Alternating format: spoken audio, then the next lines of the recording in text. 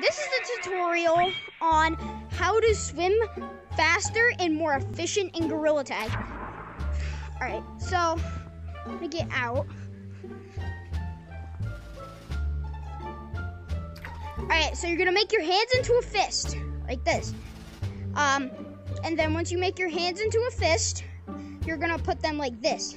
So side by side, and then you're gonna go out. You're gonna push out.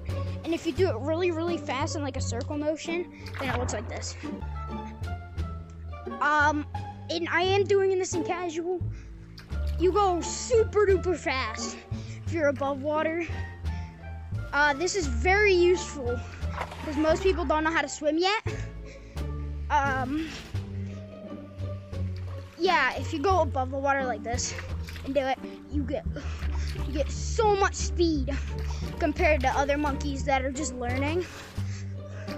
Definitely, definitely, um, don't don't if you don't want to, don't subscribe to me. I'm fine with that, but not not forcing you guys. Uh, but if you do, subscribe. It only takes a few seconds.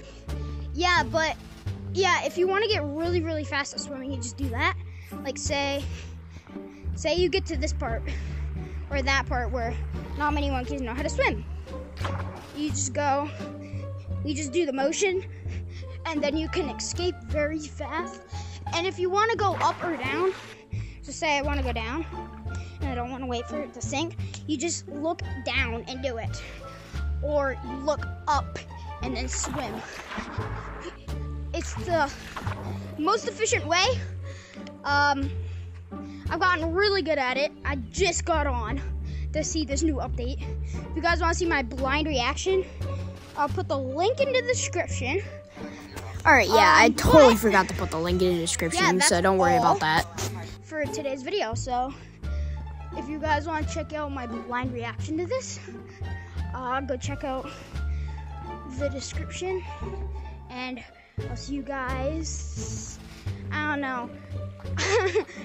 I'll see you guys the next update video or the next video that I post. Bye bye.